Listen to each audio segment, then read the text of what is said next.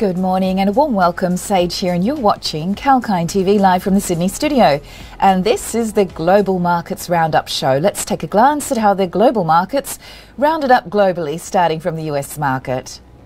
The S&P 500 eked out its fifth straight record closing high on Wednesday as investors ended the month and the quarter by largely shrugging off positive economic data and looking forward to Friday's highly anticipated employment report. The S&P 500 was up 0.13% and the Dow Jones gained 0.61%.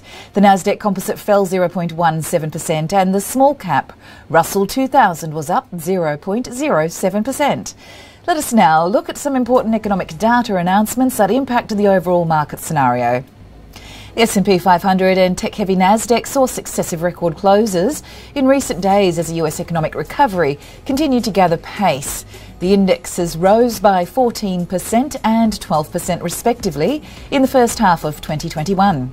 The Dow Jones Industrial Average was also up 12% during the period. It was the second best first half performance for S&P 500 since 1998. In Wednesday's session 5 of the 11 critical sectors of the S&P index advanced led by the energy stocks. Additionally, prices of air tickets, rental cars, and hotel bookings shot up ahead of the Independence Day celebrations on the 4th of July. Prices of fireworks, which are typically used in such celebrations, have soared due to a global shipping backlog of Chinese goods due to the pandemic. And moving on now to the newsmakers. The stock of Chinese ride hailing company Didi Global Inc. popped a high of more than 17% in the intraday trade after its debut on the New York Stock Exchange, taking its valuation to around 80 billion US dollars. However, it closed 1% up from the offering price at the close, bringing its valuation to about 68 billion US dollars. It was one of the biggest US IPOs by a Chinese company since 2014 after Alibaba Group's public offer. Meanwhile, the semiconductor maker Micron Technology Inc. stock jumped 2.36% after analysts gave a favourable ranking on the stock performance in the coming quarters, attributing to the continued demand for chips in 2022, which is expected to boost its pricing dynamics. And Micron Technology was expected to release its quarterly results after the market closes. Other technology stocks such as Apple Inc. gained 0.63%, Microsoft Corp declined 0.28%, and Facebook Inc. ticked down 0.97%. ASML Holdings declined 2.05% and Intel Corp declined 1.67%. Advanced Micro Devices Inc. jumped 5.07%. In the energy stocks, ExxonMobil Corp rose 0.90% and Chevron Corporation gained 1.03% and PetroChina Company Limited gained 3.16%. Total Energies SE ticked down, however, 0.95%. And now it's time for a short break, but please stay tuned with Kalkine TV as I bring you more of the trending market updates.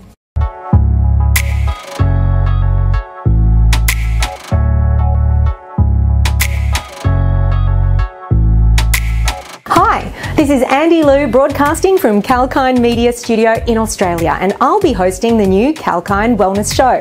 The half hour show will cover topics from how wellness as a concept has become even more significant during COVID to how becoming vegan may improve your health and much more.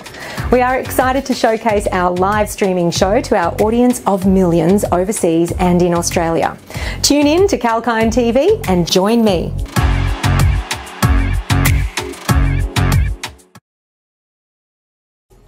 Welcome back. You're watching Sage on Kalkine TV, and we are live from the Sydney studios, and this is the Global Markets Roundup show. Let's move on now to the next stock update. Stocks of the automobile manufacturers Ford Motor Company fell 1.13% and Volkswagen AG fell 2.66%, while General Motors Co. advanced 0.50%.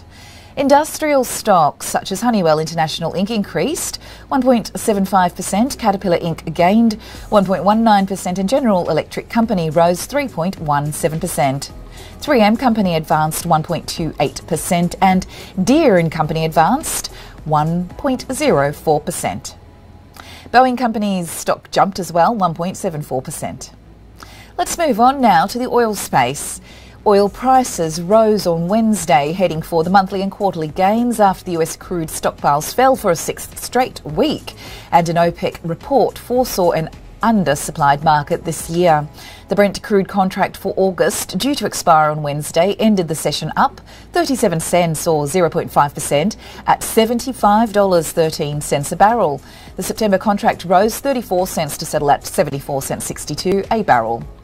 US West Texas Intermediate crude settled up 49 cents or 0.7%, reaching $73.47 a barrel. We'll take a look now at the yellow metal space.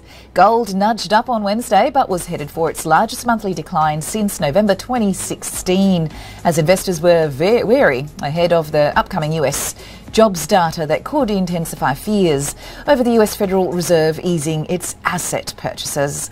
And the gold futures were up 0.39% per ounce, silver increased 1.48% per ounce, while copper rose as well 0.64%.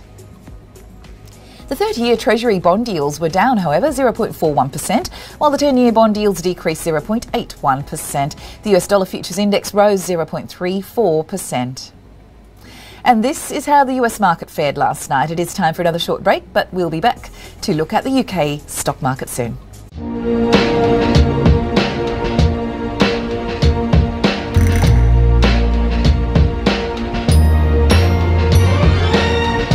Crypto talk by Kalkine. The crypto market has been red hot given the Bitcoin rally since the past year. And now the most famous cryptocurrency has got competitors Dogecoin and Ethereum. If the crypto market excites you, tune in with me, Sage, to know the latest developments about the existing digital currencies and the new ones that are joining the race. I'll help you understand the opportunities and the risks the crypto market has in store for you. For all the digital currency related developments, continue watching Crypto Talk by Kalkine.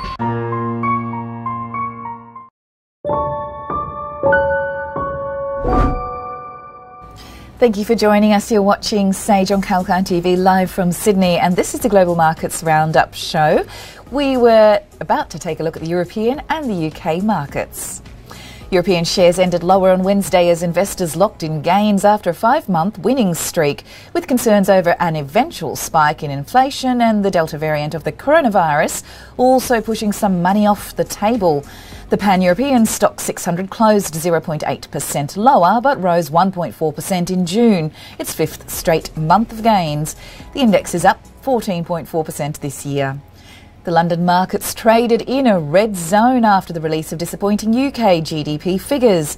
According to the Office of National Statistics, the UK GDP contracted by approximately 1.6% during the quarter one of the financial year 2021 as a, compared to the previous quarter. Indivior shares surged by about 6.47% after Dixons Carphone shares climbed by approximately 6.59% and Serco Group shares dropped by around 0.73%. Wynnstay Group shares rose by around 5.98%. And now we'll take a look at the Asian markets, starting with Tokyo. Well, Japanese shares dipped on Wednesday as a highly contagious Delta variant spread in Asia, while the benchmark index posted losses for June on concerns over the outlook of the economy. And the market ended the last trading day of the month in the red for the 10th straight month as investors tended to adjust their positions at the month's end. And the Nikkei's average dipped 0.07% to close after rising as much as 0.65% earlier in the session, while the broader TOPIX changed course to edge down 0.30%. Moving on now to Shanghai. China's stocks ended higher on Wednesday, with the major tech indexes booking their biggest quarterly gains in a year on policy support from Beijing and strong earnings expectations. The blue chip CSI 300 index closed or rose 0.7%, while the Shanghai Composite Index firmed 0.5%. Also aided by the soft factory activity data that soothed the fears of the policy tightening.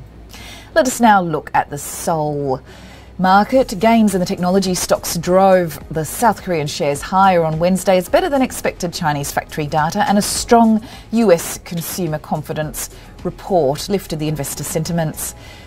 The won strengthened while the benchmark bond yield fell. The benchmark KOSPI rose 0.30% at the close of the trade. It gained 2.9% in June, notching its eighth straight monthly gain. And this is how the Asian market fared. It is time for a short break. After the break, we will take a look at the UK stock market.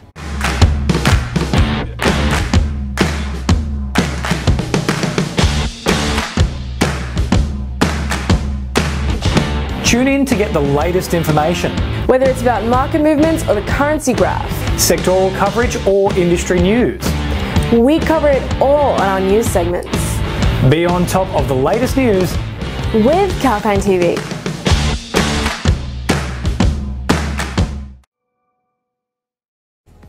Welcome back. You're watching Sage on Kalkine TV live from Sydney, and this is the Global Markets Roundup show. Let us take a look at the Australian markets. The Australian shares are likely to open the new financial year weaker on Thursday amid lockdowns and movement restrictions in various parts of the country due to the latest surge in locally acquired coronavirus cases of the Delta variant. The Australian and New Zealand dollars were under pressure on Wednesday as the spread of the highly infectious Delta variant of COVID 19 challenged confidence in the economic recoveries both at home and globally.